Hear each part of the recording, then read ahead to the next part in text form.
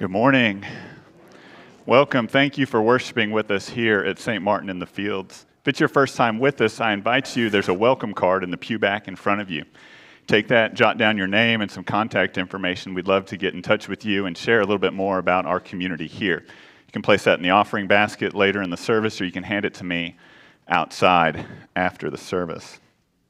A couple things. I'm sure many of you are here to help us send Reverend Paula off with our prayers and our blessings. And so, following this service, we'll gather over in the parish hall for a reception to celebrate her. Normally, we have service Sunday on the second Sunday. That would have been today, but it got the boot. And so, next Saturday at 1 o'clock, we'll gather in the parish hall and we'll make lunches, about 140 lunches we make every month for our brothers and sisters experiencing homelessness um, through Union Gospel Mission. Another thing, if you've been following along on our journey of reunification with the Diocese of Texas, kind of the second to last step um, went through yesterday. So, General Convention, where several hundred folks from every single diocese, all the bishops get together every three years in the Episcopal Church, it's happening right now in Baltimore. And so, yesterday, the House of Deputies, which is kind of like the House of Representatives, we have two, bicameral is the word. The House of Deputies unanimously voted with a standing ovation yesterday to approve the resolution for our diocese, the Episcopal Church in North Texas, to reunify with the Diocese of Texas. So tomorrow, the House of Bishops, now we can't always trust bishops, so we never know what's going to happen. But I have it, on, they're all in Baltimore, no one's watching, so I can say what I want. Have it on good authority that it will like, likely be met with the same celebration. And so when that happens tomorrow, the Episcopal Church in North Texas will cease to exist. We will be a part of the Diocese of Texas. So if you haven't been here in the last several weeks, we're filling out our application to become a parish in the Diocese of Texas. It's just a formality. There's an application in the back, a sheet of paper with a bunch of signatures. If you haven't yet already signed that, I invite you to add your name to that list so when we ship that off to the diocese down in Houston, they can see the love and support they get from this place here. So I encourage you to do that after the service. I think that's enough for what's coming up. As we prepare to worship, I invite us to take a few moments and center our hearts.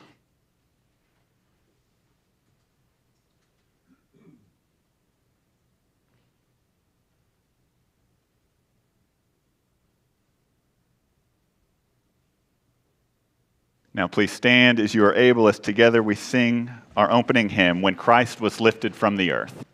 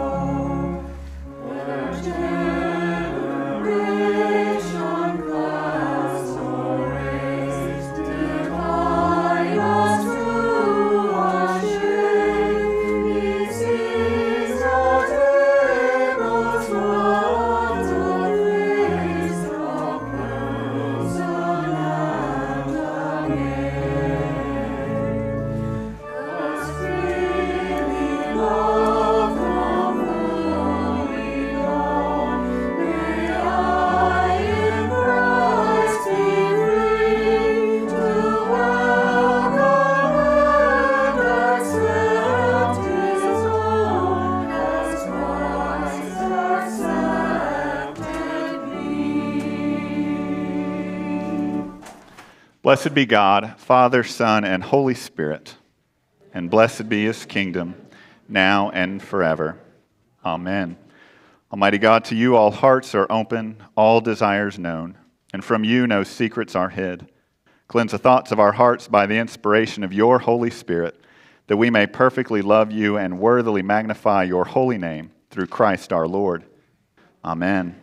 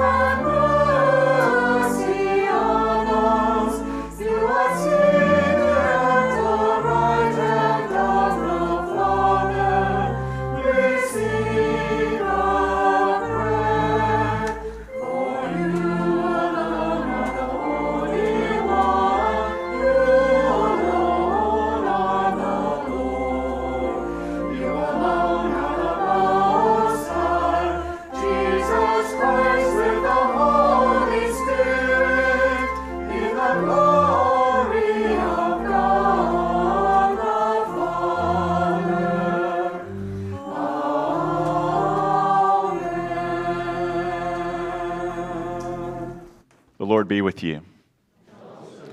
Let us pray. O Lord, mercifully receive the prayers of your people who call upon you, and grant that they may know and understand what things they ought to do, and also may have grace and power faithfully to accomplish them. Through Jesus Christ our Lord, who lives and reigns with you and the Holy Spirit, one God, now and forever. Amen. Please be seated for our lessons.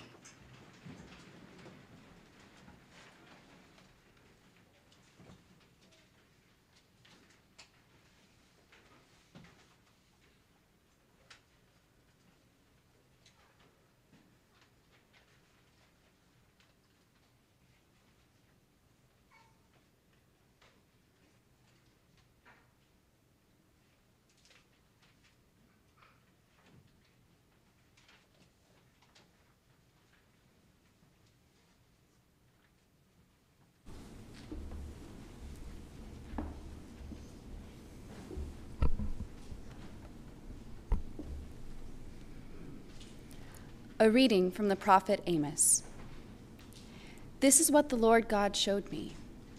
The Lord was standing beside a wall built with a plumb line, with a plumb line in his hand.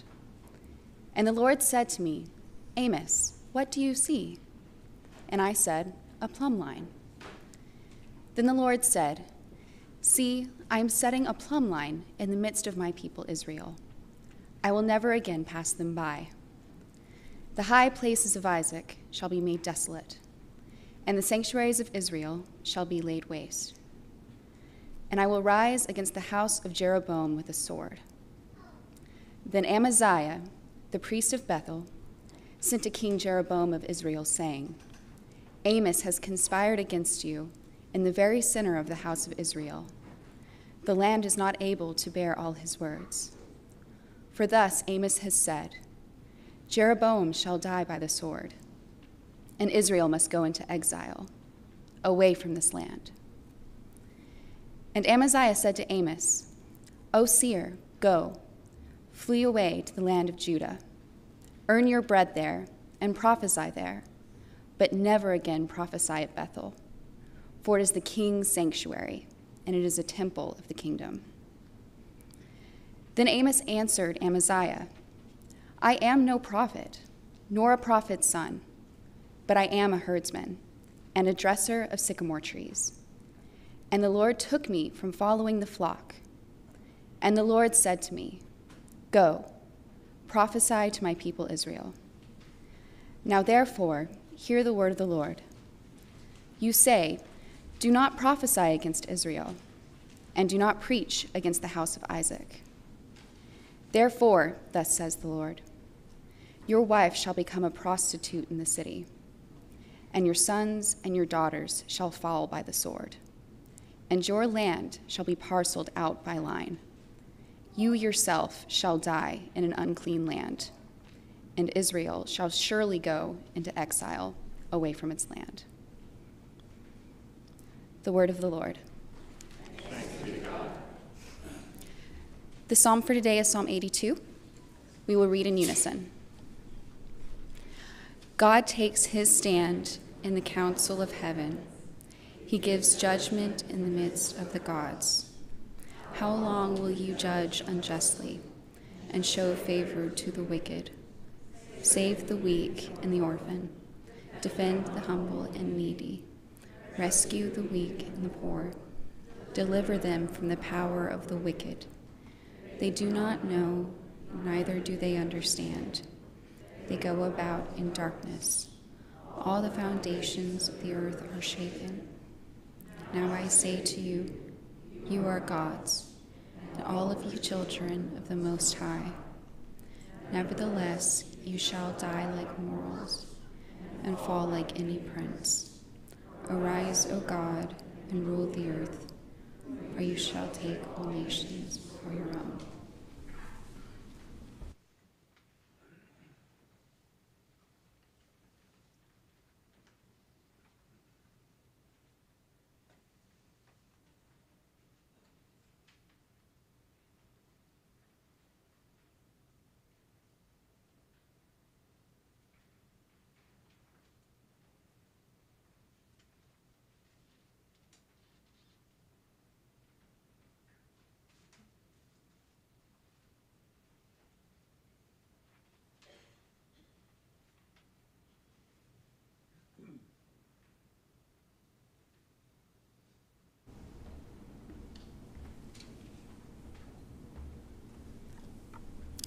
A reading from the letter to the Galatians.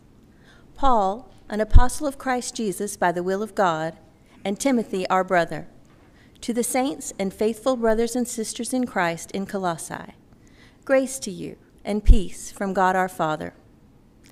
In our prayers for you, we always thank God, the Father of our Lord Jesus Christ, for we have heard of your faith in Christ Jesus and of the love that you have for all the saints because of the hope laid up for you in heaven.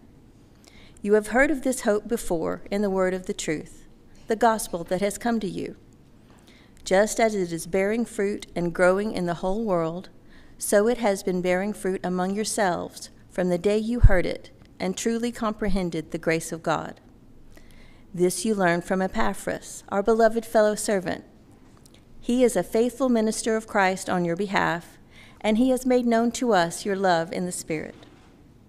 For this reason, since the day we heard it, we have not ceased praying for you and asking that you may be filled with the knowledge of God's will in all spiritual wisdom and understanding, so that you may lead lives worthy of the Lord, fully pleasing to Him, as you bear fruit in every good work and as you grow in the knowledge of God. May you be made strong with all the strength that comes from His glorious power, and may you be prepared to endure everything with patience while joyfully giving thanks to the Father, who has enabled you to share in the inheritance of the saints in the light. He has rescued us from the power of darkness and transferred us into the kingdom of his beloved Son, in whom we have redemption, the forgiveness of sins. The word of the Lord.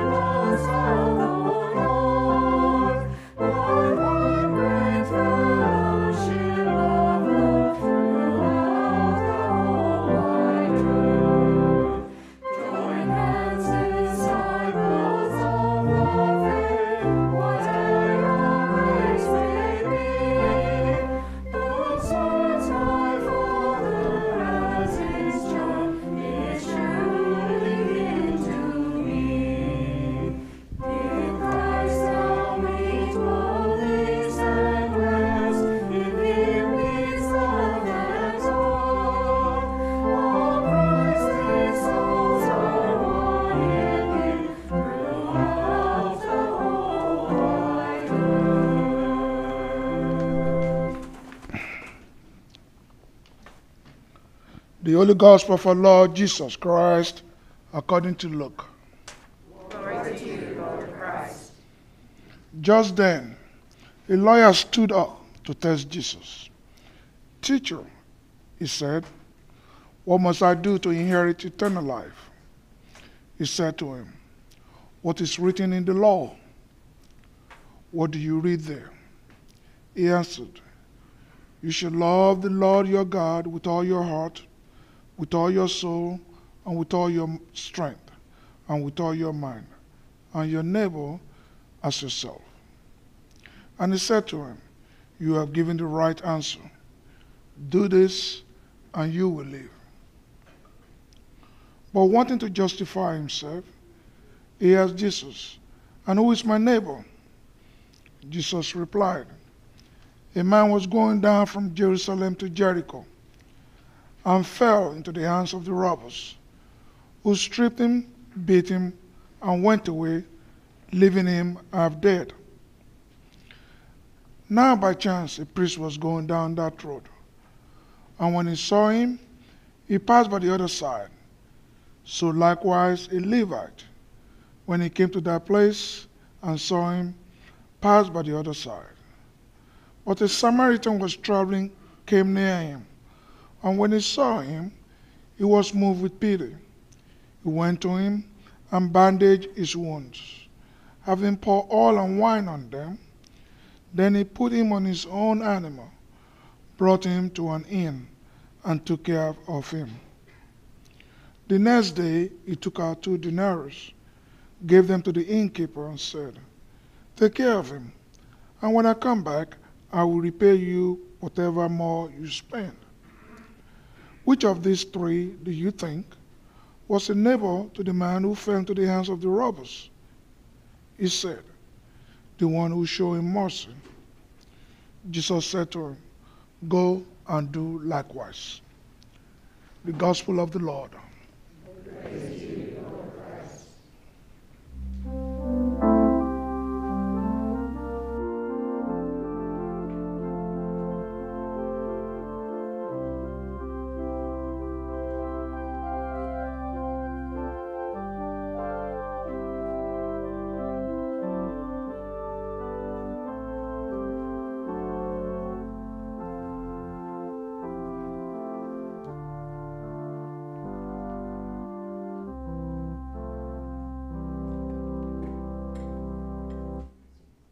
Y'all can be seated. This Sunday, we're actually all going to stay in here together for Reverend Paula's last sermon, so there won't be children's chapel this week. In the name of the Holy and Undivided Trinity, one God. Amen. Throw the ball, God. Throw the ball. In the summer of 2015, I began a three year seminary program. There's a definite rhythm in seminary life class, chapel, class, chapel, lunch, class, and chapel. Evenings, you know, they leave those open for reading and writing papers.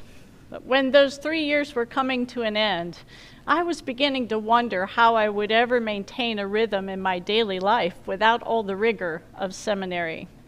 So I went looking for a very special dog, a Vizsla. They're hard to find, especially Vizslas that have hunters in their lineage. And I finally found a breeder in the panhandle of Oklahoma. I described my lifestyle, and she agreed. A Vizsla was a good fit. And she had a litter due in April of 2018.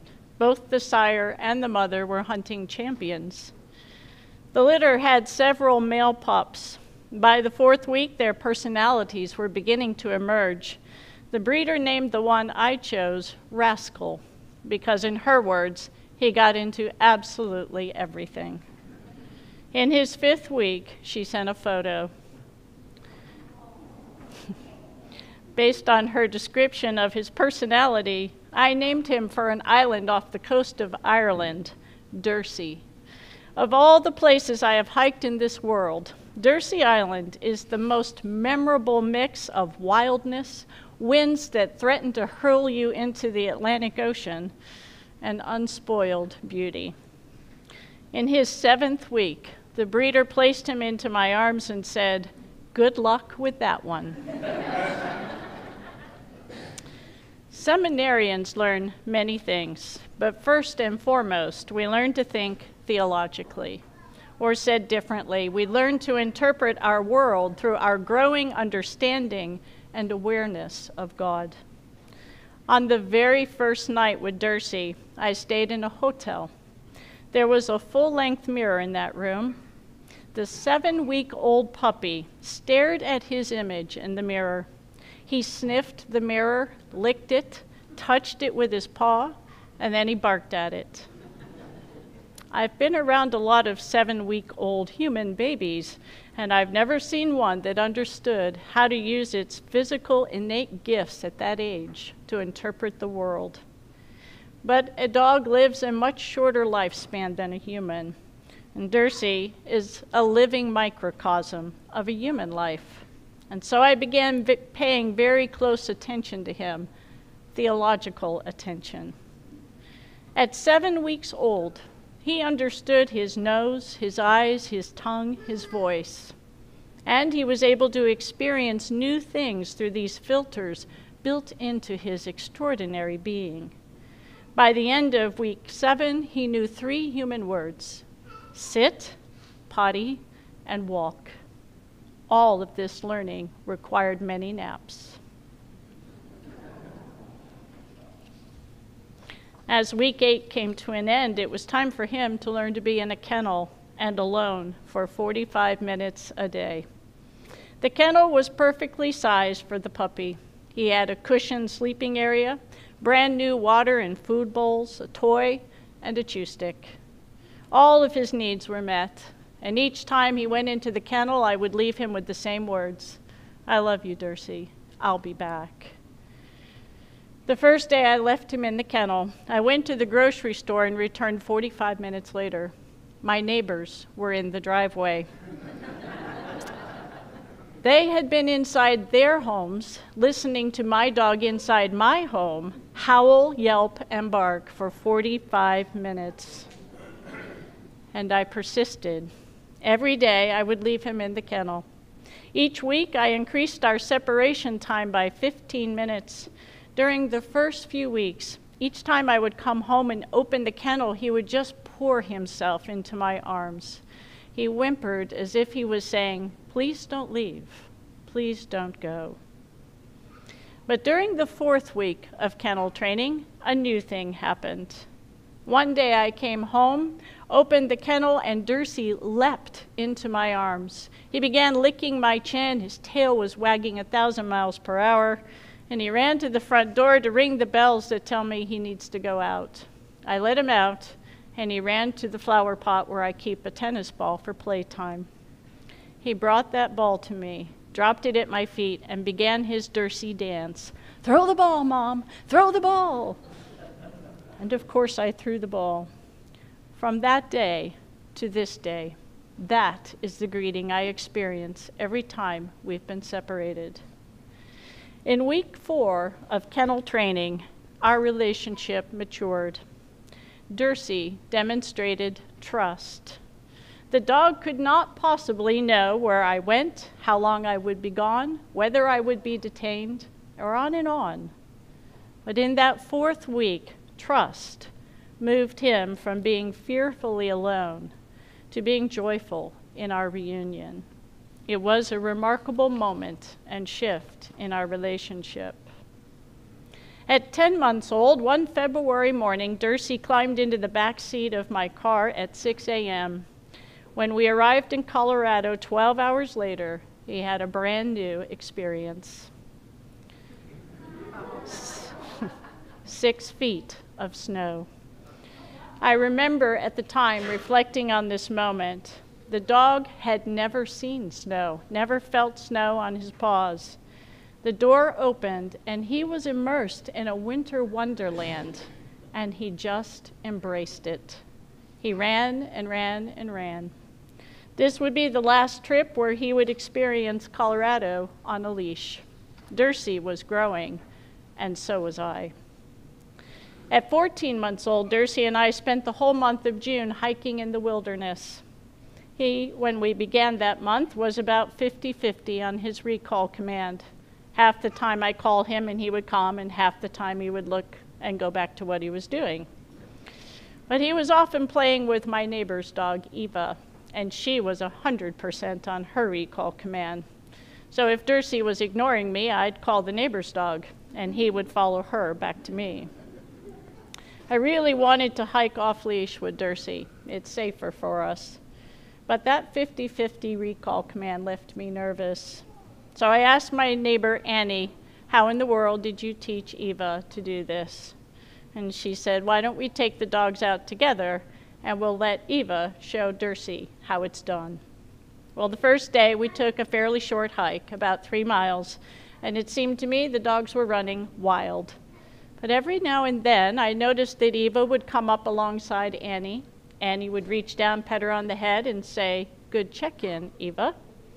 Dursey was modeling everything Eva did, so he would come alongside me. I'd pet him on the head, say, Good dog, good check in, and then I would give him bacon to cement the deal. On the second morning, we went on a longer and much more challenging hike. Near the end, the dogs were out in front of us again on the trail and way out of our sight. And Annie said, Paula, this is the time. We need to get off the trail and sit on a log and wait to see how long it will take the dogs to come and find us. Well, my heart was pounding. I was certain Dursey was in New Mexico by now, and I would never see him again. And Annie explained what we were doing. Paula, you and Dursey have a very strong bond. He's not going anywhere. Eventually, he will realize that his silly human has managed to get lost, and then he's going to come find you every time. Well, a good five to ten minutes went by, and then I heard the sound of a stampede headed toward me. You see, Vizslas are the third fastest breed among dogs on planet Earth.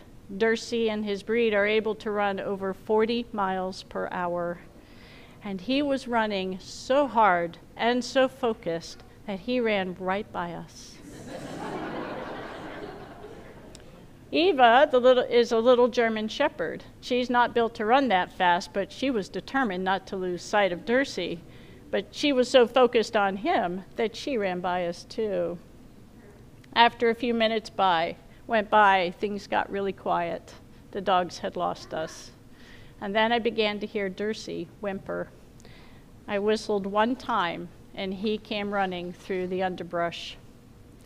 The next day, Dursey and I hiked alone. Halfway through the hike, he was out in front of me, out of my line of sight, and so I turned my phone on to video and ducked behind a big tree. I wanted to video and know how long will it take him to realize I'm missing and come and find me. 22 seconds. At first, I thought Eva had done this great teaching of Dursey, but then I realized it was really Annie who taught me how to be in relationship with a dog. Dursey is a bird dog. He wasn't created to be at the end of a leash. He was created to chase birds and squirrels and everything else that moves. But until I was willing to risk letting go, Dursey's experience was always contained by the length of my leash. I had to, I had kind of inserted myself as the epicenter of his life. Once I let go of my fears, Dursey's nature was his guide. In Christian ethics, the change happening in Dursey is described as flourishing.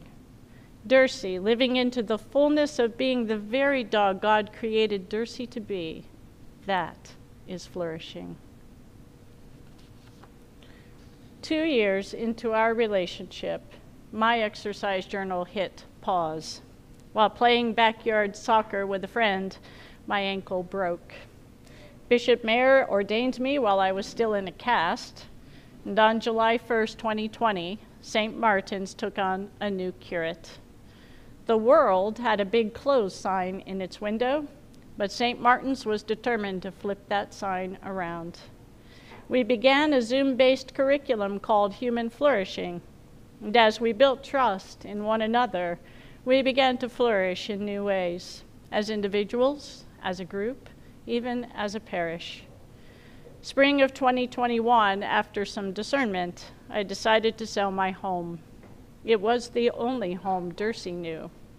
I've often wondered what that time was like for him. After all of our stuff had been moved from the old house to the new house, we went back to the old house to make sure nothing had been overlooked.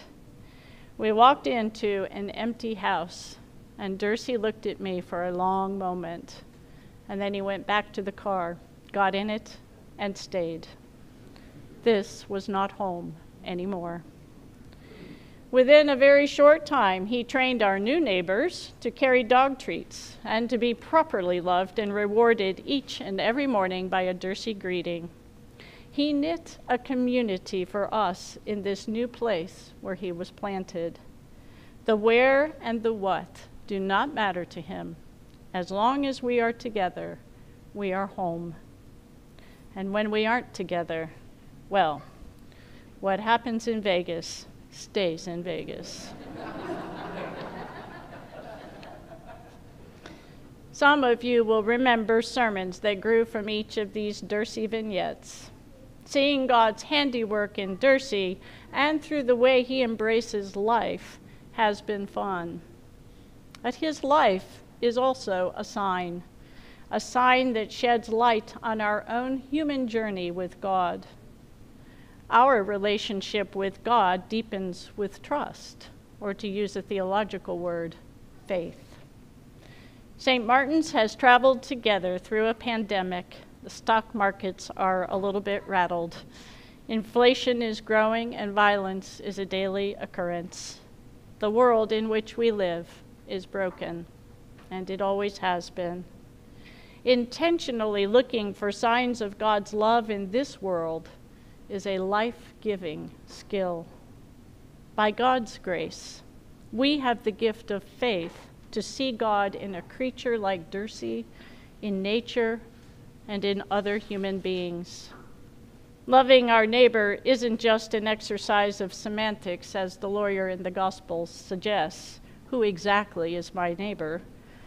Our neighbors are the ones we like, the ones we abhor, and the vast majority who fall between those extremes. Human flourishing invited us to grow empathy for all people, to imagine the socio-cultural obstacles that prevent our neighbor from living into the fullness of the person God created them to be. There is risk in loving. Jesus did not say it would be easy. On his fourth birthday this year, Dursey hiked in the San Juan National Forest, no leash. He cleared the trail in front of me. He scouted the trail behind me, finding people on the trail I did not know were there. Here he is looking across the tall grasses, scanning for deer and small game. This is who Dursey was created to be a focused hunting dog, at home in the wilderness, guarding his human partner. He is a confident hiker, and I am confident in our partnership. And I wonder, I wonder if God longs for this kind of relationship with you. That you might not live fearfully, but patiently and faithfully seeking God. To live with joy that screams, Throw the ball, God, throw the ball to live into the fullness of God's image planted already within you. Amen.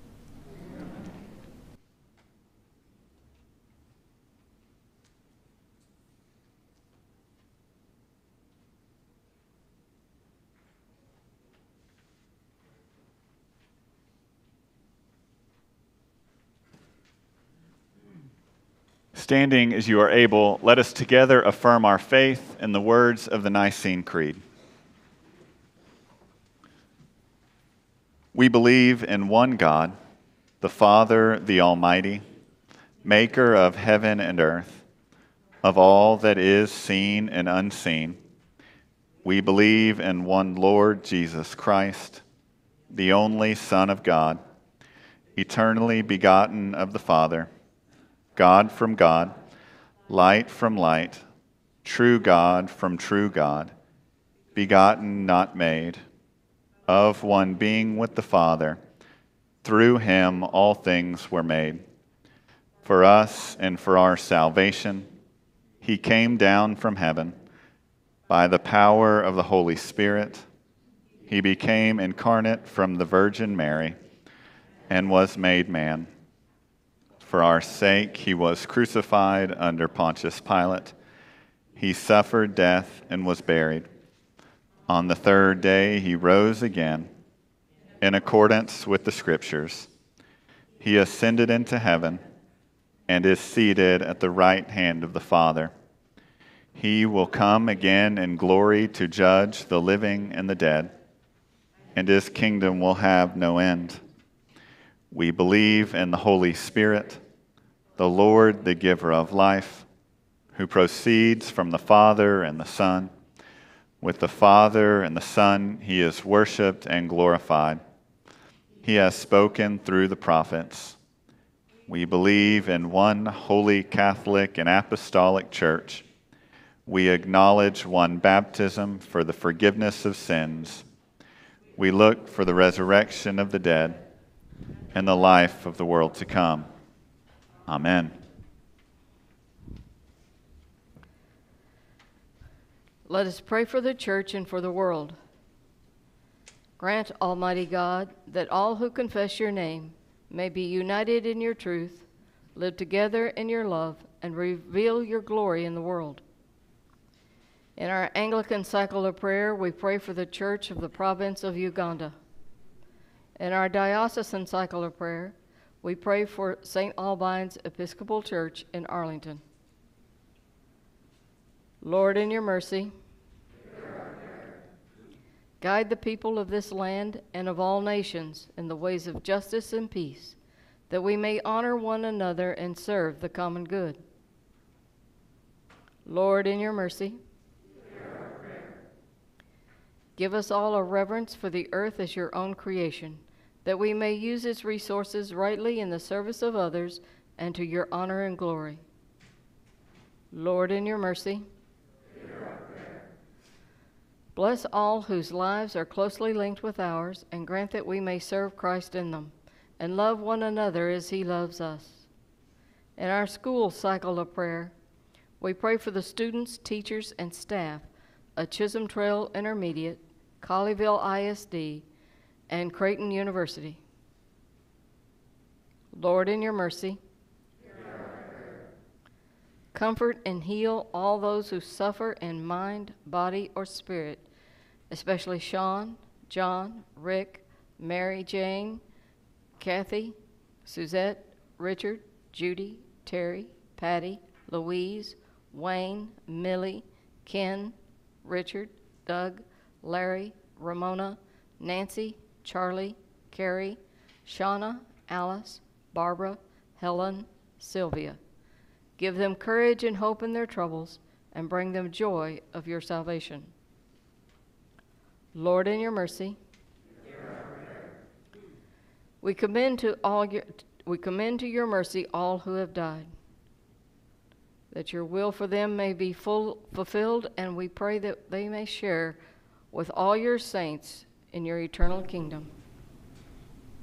Lord, in your mercy, Prayer. O Lord our God, accept the fervent prayers of your people. In the multitude of your mercies, look with compassion on us and all who turn to you for help. For you are gracious, O lover of souls, and to you we give glory, Father, Son, and Holy Spirit, now and forever. Amen.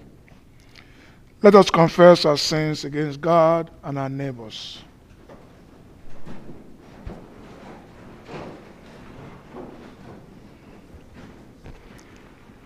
Most merciful God, we confess that we have sinned against you in thought, word, and deed, by what we have done, by what we have left undone. We have not loved you with our whole heart. We have not loved our neighbors as ourselves. We are truly sorry and we humbly repent. For the sake of your Son, Jesus Christ, have mercy on us and forgive us, that we may delight in your will and walk in your ways, to the glory of your name. Amen. Almighty God, have mercy on you, forgive you all your sins through our Lord Jesus Christ, strengthen you in all goodness, and by the power of the Holy Spirit, keep you in eternal life. Amen. Please stand as you are able. May the peace of the Lord be always with you.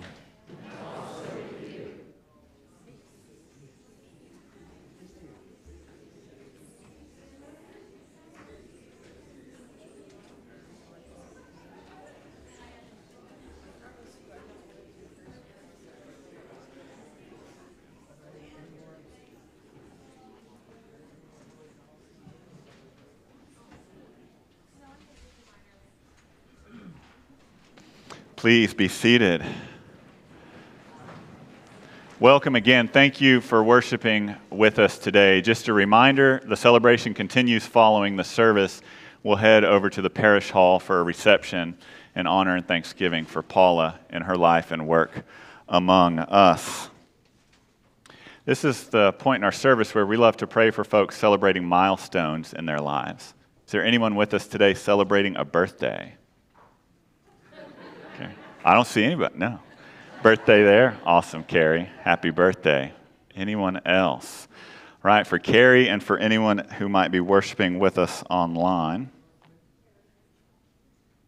let us pray. Oh God, our times are in your hands. Look with favor, we pray, on your servants as they begin another year. Grant that they may grow in wisdom and grace and strengthen their trust in your goodness all the days of their lives. Through Jesus Christ our Lord. Amen. Anyone with us today celebrating an anniversary? Awesome. How many years? 21. Wow. Yeah, you can go stand. I don't know, he may put you to work if you stand back there. He'll be running a camera pretty soon.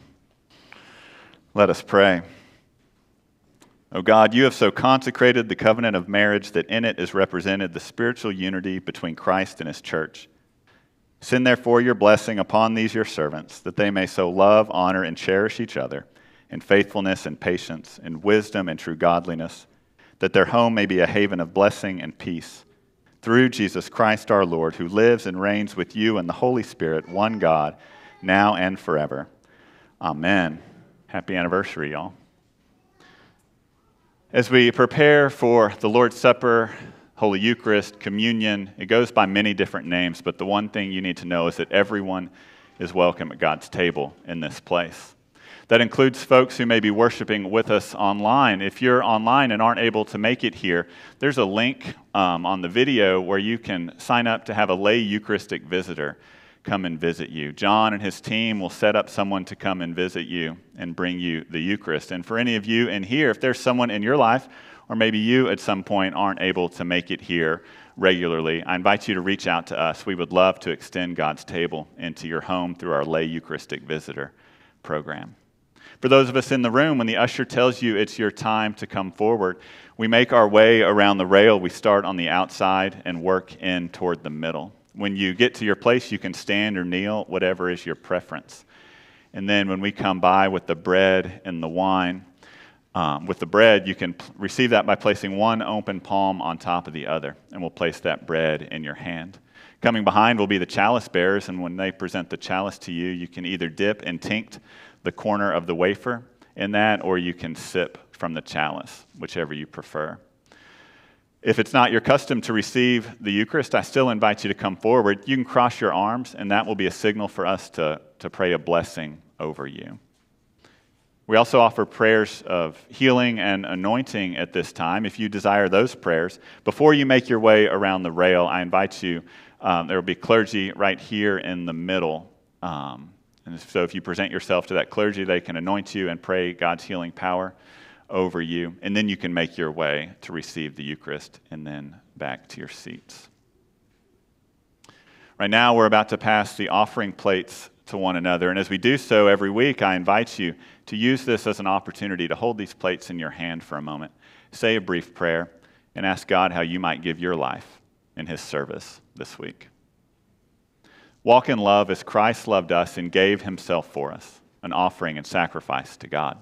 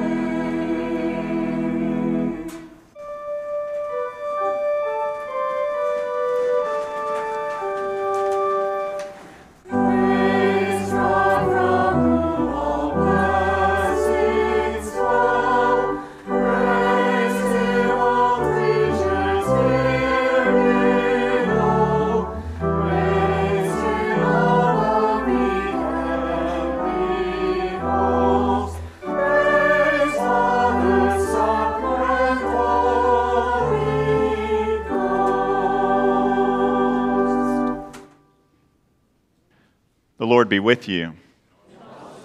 Lift up your hearts. Let us give thanks to the Lord our God.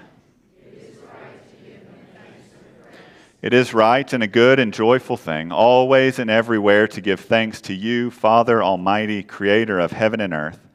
For by water and the Holy Spirit you have made us a new people in Jesus Christ our Lord, to show forth your glory in all the world. Therefore we praise you, joining our voices with angels and archangels and with all the company of heaven, who forever sing this hymn to proclaim the glory of your name.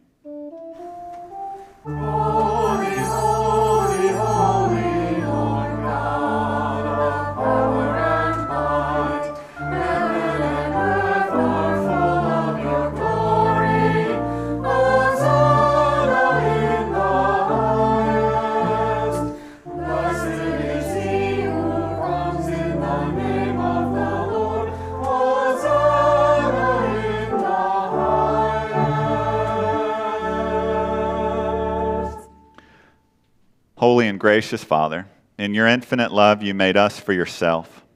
And when we had fallen into sin and become subject to evil and death, you in your mercy sent Jesus Christ, your only and eternal Son, to share our human nature, to live and die as one of us, to reconcile us to you, the God and Father of all. He stretched out his arms upon the cross and offered himself in obedience to your will, a perfect sacrifice for the whole world. On the night he was handed over to suffering and death, our Lord Jesus Christ took bread. When he had given thanks to you, he broke it and gave it to his disciples and said, Take, eat. This is my body, which is given for you. Do this for the remembrance of me.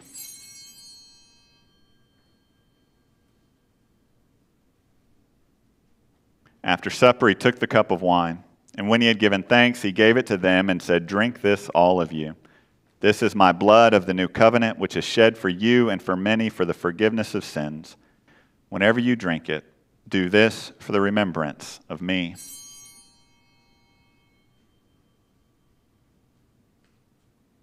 Therefore, we proclaim the mystery of faith.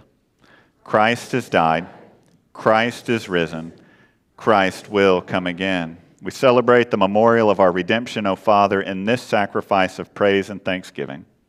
Recalling his death, resurrection, and ascension, we offer you these gifts. Sanctify them by your Holy Spirit to be for your people the body and blood of your Son, the holy food and drink of new and unending life in him. Sanctify us also, that we may faithfully receive this holy sacrament and serve you in unity, constancy, and peace. And at the last day, bring us with all your saints into the joy of your eternal kingdom. All this we ask through your Son, Jesus Christ, by him and with him and in him. In the unity of the Holy Spirit, all honor and glory is yours, Almighty Father, now and forever. Amen.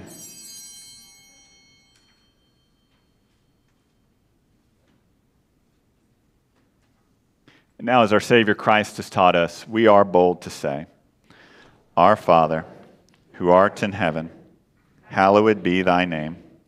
Thy kingdom come, thy will be done, on earth as it is in heaven. Give us this day our daily bread, and forgive us our trespasses as we forgive those who trespass against us. And lead us not into temptation, but deliver us from evil. For thine is the kingdom, and the power, and the glory, forever and ever. Amen.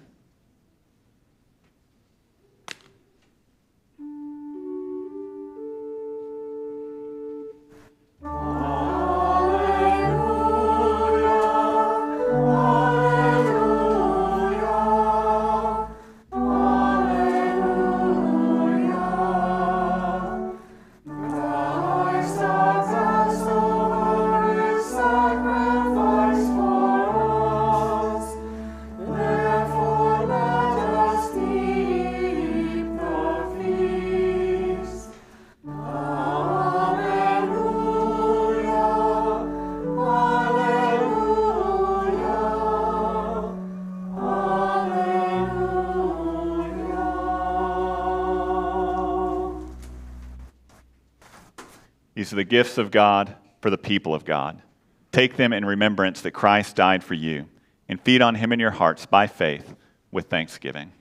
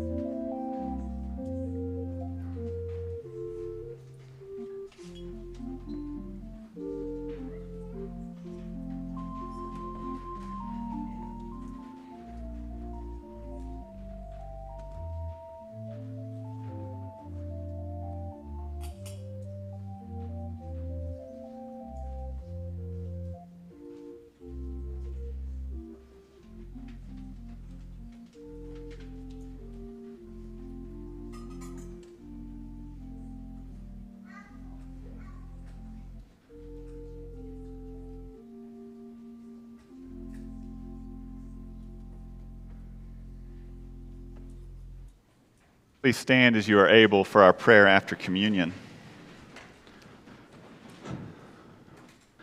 Together, let us pray.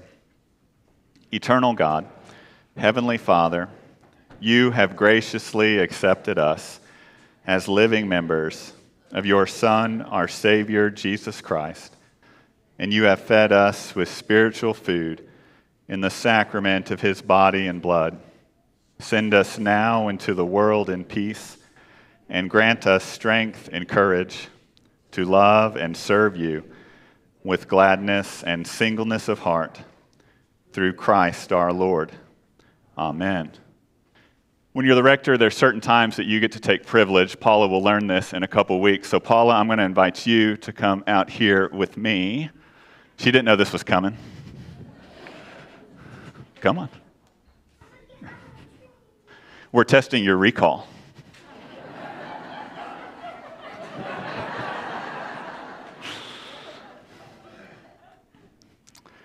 Let us pray. O holy God, you raise up laborers for your harvest, sending them out as sowers of your gospel and caretakers of new life. We give thanks for Paula and the many roles she has played here at St. Martin's, from parishioner to vestry to treasurer to Stephen ministry and everything else, to seminarian, finally to priest. And now we send her out into the world to love and serve your people at St. Christopher's. Bless your servant in her work tending your church. Equip her for service, enliven her with your joy, and help her remember and trust that it is you who will bring in the harvest. Through Jesus Christ, the Savior of souls. Amen. Will you bless us all? Oh, yeah.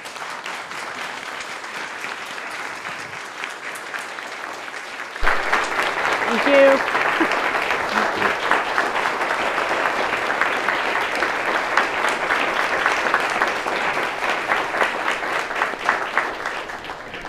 Blessing of God, Father, Son, and Holy Spirit be among you and remain with you forever. Amen.